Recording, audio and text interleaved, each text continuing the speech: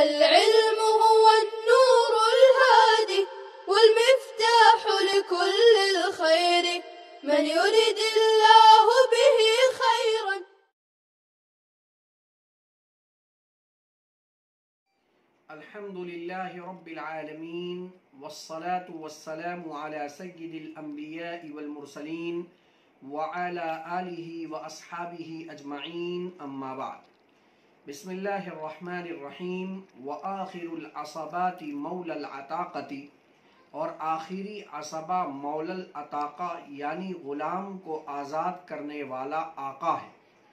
तुम असबत तरतीबी जकरना।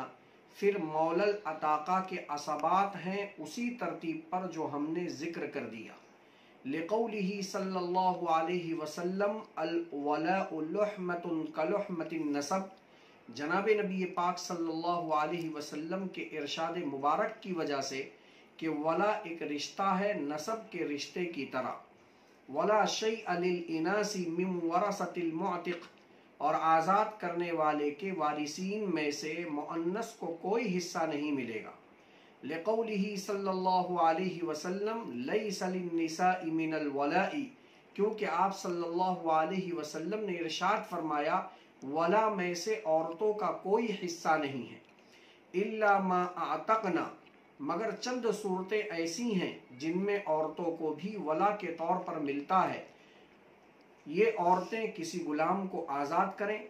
औ आतक मन आतकना या इनके आज़ाद करदा गुलाम ने किसी को आज़ाद किया हो। औ कातबना, या ये औरतें किसी गुलाम को मुकातब बनाएँ।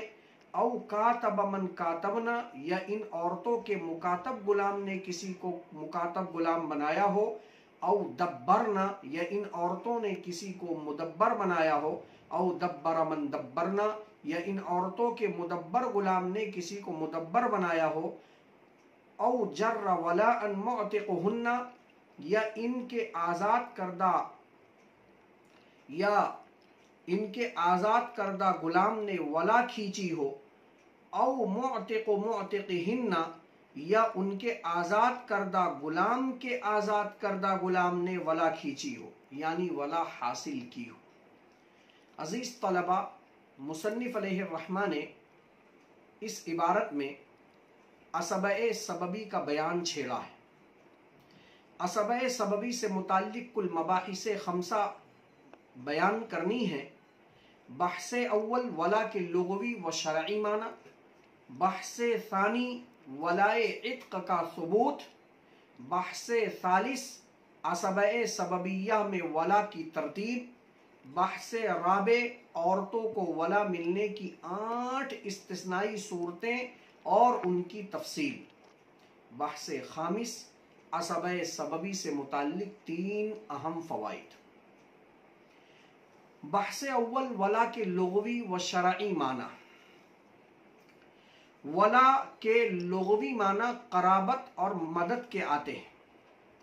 और इस्तलाह मीरास में वला उस मीरास को कहते हैं, जो गुलाम की मदद यानी गुलाम को आज़ाद करने के नतीजे में हासिल होती है। बहस सानी वलाए इत्क का सबूत। खुद मुसन्फ़ रहमा ने ज़िक्र कर दिया कि जनाब नबी पाक सल्लल्लाहु अलैहि वसल्लम ने इरशाद फरमाया अल वलाउल्लहमतुन कलहमतिन नसब, कि वला एक रिश्ता है नसब के रिश्ते की तरह। यानी जैसे नसब के रिश्ते की बुनियाद पर मीरास का इस्तेहकाक होता है, ऐसे ही वला के रिश्ते की बुनियाद पर भी मीरास का इस्तेहकाक होगा। वला के सबब इर्स होने की अकली दलील ये है कि जैसे बाप अपने बेटे के वजूद के लिए सबब हकीकी है कि बेटा बाप ही की वजह से दुनिया में उसने ज़िंदगी पाया, बाप उसके लिए सबब बना। तो बाप के सबब होने की बुनियाद पर बेटा जब मर जाए तो बेटे की विरासत बाप को मिलती है। गोया कि बाप उसके सिफत हयात में सबब बना। ऐसे ही आका गुलाम को ज़िंदगी देने में सबब बना। क्योंकि गुलाम बहालत गुलामी, मौत हुक्मी के दर्जे में। इसलिए कि वो बहुत सारे तसरुफात खुद नहीं कर सकता। आका की इजाज़त के बगैर बेशरा नहीं कर सकता, निकाह नहीं कर सकता। इन तसरुफात से उसको रोक दिया गया है। गोया तसरुफात से रुक जाना। ये मौत हुक्मी है और गुलाम को जब आका आज़ाद करता है तो ये सारे तसरुफात जो उसके लिए पहले ममनू थे, अब इन सारे तसरुफात की उसको इजाज़त मिल जाती है। गोया उसको अब हयात हकीकी नसीब हुई। तो जैसे बेटे की मरने की वजह से बाप को विरासत दी गई, क्योंकि बाप बेटे के लिए सबब बना, ज़िंदगी का सबब बना, ऐसे ही आका भी गुलाम को सिफत मौत हुक्मी से निकालने का सबब बना, इसलिए आका को भी गुलाम के मरने के बाद असब सबबी के तौर पर विरासत मिलेगी। बशर्ते के मरने वाले गुलाम ने अपने पीछे कोई असबात नसबिया में से किसी फर्द को ना छोड़ा। बहसे सालिस वलाए वल असब सबबी में वला की तरतीब। याद रखें मैत ने जबील फरूज में से अगर किसी को नहीं छोड़ा और न ही असबात नसबिया के दर्जाते अरबा में से किसी को छोड़ा, जिन दर्जात अरबा की तफसीली बहस असब बिनफसी ही, असबा बिनफसी ही के मातहत गुजर चुकी तो मैत का तरका उसके असब सबबी को मिलेगा, यानी खुद आज़ाद करने वाले आका को मिलेगा। अगर खुद आज़ाद करने वाला आका मोतिक नहीं है तो अब इसके असब नसबी में उसी तरतीब के मुताबिक विरासत जारी होगी जो हमने असब नसबी में ज़िक्र कर दिया। यानी सबसे पहले रिश्ता बनुवत को विरासत मिलेगी इब्नुल मौतिक, इब्नु इब्नुल मौतिक व इन सफल। आज़ाद करने वाले का बेटा, आज़ाद करने वाले का पोता आखिर।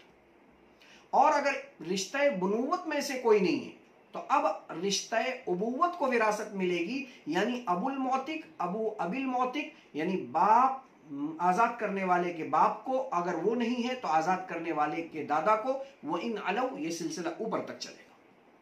और अगर रिश्ते उबूवत में से भी कोई नहीं है तो रिश्ते उखुवत को विरासत मिलेगी, यानी आज़ाद करने वाले के भाई, आज़ाद करने वाले के भतीजे को, अखुल मौतिक, इबन अखिल मौतिक। वो इन नजलू ये सिलसिला नीचे तक चलेगा।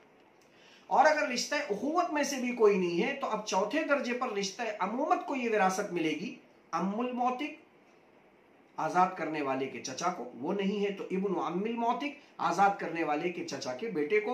वो इन बउदू ये रिश्ता, ये सिलसिला दूर तक चलेगा। इससे मालूम ये हुआ कि मौतिक के असबात नसबिया में यानी असबा बिनफसी ही में जो मुजक्कर हैं, दर्जात अरबा के तहत, रिश्ते बनूवत सबके सब मुजक्कर, रिश्ते उबूवत सबके सब मुजक्कर, रिश्ते उखूवत सबके सब मुजक्कर, रिश्ते अमूमत सबके सब मुजक्कर, इन मुजक्कर वारिसीन में असब सबबी के तौर पर विरासत जारी होगी। आज़ाद करने वाले मौतिक के पसमानदगान में से, वारिसीन में से औरतों को सबब वला के तौर पर कोई हिस्सा नहीं मिलेगा, क्योंकि आप सल्लल्लाहु अलैहि वसल्लम ने इरशाद फरमाया, लईसा लिन्निसा मिनल वला इशई वला में से औरतों का कोई हिस्सा नहीं। अलबत्ता आठ इस्तेस्नाई सूरतें हैं, जिनको खुद जनाब नबी पाक सल्लल्लाहु अलैहि वसल्लम ने मुस्तस्ना किया है अब वो आठ इस्तेस्नाई सूरतों को हम बहस राबे के तहत जानते हैं कि औरतों को वला मिलने की आठ इस्तेस्नाई सूरतें और उनकी तफसील। सबसे पहली सूरत है आज़ाद करदा गुलाम की वला। एक खातून ने अपने गुलाम को आज़ाद कर दिया। आज़ाद करदा गुलाम मर रहा है। अपने असबात और असहाबुल फराइज में से किसी को वो नहीं छोड़ रहा है। तो अब इस गुलाम की वला खातून को मिलेगी। इसी तरह दूसरी सूरत मोतकु मोतकी हिन्ना खातून ने अपने गुलाम को आज़ाद किया, आज़ाद करदा गुलाम ने फिर एक गुलाम खरीदा और उसने अपने गुलाम को आज़ाद किया। अब अगर वो गुलाम मर रहा है और उसके बाद ये गुलाम भी मर जाए, ये भी मौजूद ना हो, दोनों गुलाम मर जाए तो अब इस गुलाम की वला खातून को मिलेगी, बशर्ते के मरने वाले गुलाम ने कोई वारिस छोड़ा ना तीसरी सूरत तबना एक खातून ने एक गुलाम से किताबत का मामला किया। उस गुलाम ने माले किताबत अदा देकर आज़ाद अदा करके आज़ादी का परवाना हासिल कर लिया और मर गया और अपने पीछे कोई वारिस नहीं छोड़ा। तो अब उस मुकातब गुलाम की वला इस आज़ाद करने वाली औरत को मिलेगा। औ कातब मन कातबना, चौथी सूरत, खातून ने अपने गुलाम से किताबत का मामला किया। गुलाम ने माले किताबत अदा करके आज़ादी का परवाना हासिल कर लिया और उसने भी एक गुलाम खरीदा और अपने गुलाम से किताबत का मामला किया और उसके गुलाम ने भी माले किताबत अदा करके आज़ादी का परवाना हासिल कर लिया और ये दोनों गुलाम मर गए। इन्होंने अपने पसमानदगान में से किसी को नहीं छोड़ा। तो अब इस खातून को इस गुलाम की वला मिलेगी। पांचवी सूरत, औ दब्बरना। एक खातून ने अपने गुलाम को मुदब्बर बनाया। यहाँ एक चीज़ समझ लें ताकि मसला समझने में आसानी हो कि मौत की दो किस्में हैं। एक है मौत हकीकी, सांस बंद हो जाए, जिसका हम रोज़मर्रा मुशाहिदा करते हैं। और एक है मौत हुक्मी नौज बिल्ला इंसान, मुसलमान, मर्द या औरत, ये इस्लाम से फिर जावे और दारुल हर्ब चले जाए। तो लिहाते लुहूक दारुल हर्ब की वजह से अब उस पर मौत हुक्मी तारी हो जाएगी। लिहाजा एक खातून ने एक गुलाम खरीदा और उसके साथ में तदबीर का मामला किया कि मेरे मरने के बाद तू आज़ाद है और नौज बिल्ला सुम नौज बिल्ला ये खातून मुर्तद हुई और दारुल हर्ब चली गई। लिहाजा उसके मौत हुक्मी का फैसला सुना दिया गया और ये गुलाम आज़ाद हो गया फिर अल्लाह ने उस खातून को हिदायत दी और वो दारुल हर्ब से दारुल इस्लाम में मुसलमान बनकर आई और इस मुदब्बर गुलाम का इंतकाल हो जाए और अपने पीछे कोई वारिस ना छोड़े तो इस गुलाम की वला इस आज़ाद करने वाली खातून को मिलेगी। औ दब्बर मन दब्बरना, छठी सूरत। तकरीबन यही है। सिर्फ़ इसमें एक वास्ता बढ़ गया कि औरत के मुदब्बर गुलाम ने भी एक गुलाम को मुदब्बर बना लिया। और फिर औरत के इस्लाम कबूल करके, दारुल हर्ब से दारुल इस्लाम में आने के बाद इस गुलाम का इंतकाल हो जाए और उसको ही वारिस ना छोड़े तो अब इस गुलाम की वला इस आज़ाद करने वाली औरत को मिलेगा। सातवीं सूरत, औ जर्र वला अन मौत इस सूरत को भी समझने के लिए एक चीज़ समझना ज़रूरी है कि बच्चा आज़ादी और गुलामी में माँ के ताबे होता है। माँ अगर आज़ाद तो बच्चा आज़ाद, माँ अगर गुलाम तो बच्चा गुलाम। जब आपने ये समझ लिया तो अब सूरत यह है कि खातून ने, एक खातून के गुलाम ने अपनी आकन खातून से इजाज़त लेकर निकाह किया और एक आज़ाद शुदा बांदी से निकाह किया। ज़ाहिर सी बात है, जब वो आज़ाद शुदा बांदी है तो वो आज़ाद खातून है। बच्चा पैदा हुआ तो माँ के आज़ाद होने की वजह से वो बच्चा भी आज़ाद होगा। अब इस खातून ने अपने गुलाम को जब आज़ाद कर दिया तो अब मर्द जब आज़ाद हुआ तो अब वो बच्चा माँ के ताबे नहीं होगा, बल्कि बाप के ताबे हो गया। अब अगर बच्चा मरता है, ये गुलाम मर जाता है और इन्होंने अपने पसमानदगान में कोई वारिस नहीं छोड़ा है तो उस बच्चे की वला इस गुलाम के वास्ते से आज़ाद करने वाली आका को औरत को मिलेगी। इसको कहते हैं, जर्र वला अनमौत को हन्ना वला को हासिल करना, वला को खींचना। आठवीं सूरत, औ जर्र वला अन मोतिको मोतिकी हिन्ना बिल्कुल वही सूरत है, सिर्फ़ इसमें एक वास्ता बढ़ गया कि एक खातून ने अपने गुलाम को इजाज़त दे दी निकाह की एक आज़ाद शुदा बांदी से। उसने निकाह कर लिया और बच्चा पैदा हो गया। फिर उस आज़ाद शुदा गुलाम ने एक गुलाम खरीदा और किसी दूसरे शख्स की आज़ाद शुदा बांदी से उसकी शादी कर दी। फिर उनसे बच्चा पैदा हुआ। तो ये बच्चा अपनी माँ के ताबे होकर आज़ाद होगा और उसकी वाला उसके माँ के आज़ाद करने वाले आका को मिलेगी। और जब आज़ाद शुदा गुलाम अपनी शादी, अपने शादीशुदा गुलाम को आज़ाद कर देगा तो उसकी वला पहले इसी गुलाम को मिलेगी, जो खातून का गुलाम था। फिर उसके वास्ते से आज़ाद करने वाली खातून को मिलेगी, इसको कहते हैं जर्र वला मोतक मोतक, यानी आज़ाद करदा गुलाम के आज़ाद करदा गुलाम के वला को खींचना। तो ये आठ सूरतें थी जिनका इस्तना खुद जनाब नबी पाक सल्लल्लाहु अलैहि वसल्लम ने किया कि वला में से औरतों को, और नंबर एक पर तो कोई हिस्सा नहीं है, लेकिन इन आठ सूरतों में औरतों को हिस्सा मिलेगा। अज़ीज़ तलबा असब सबबी से मुतालिक आज की मजलिस में इन्हीं मबाहिस अरबा पर हम इक्तफा करते हैं।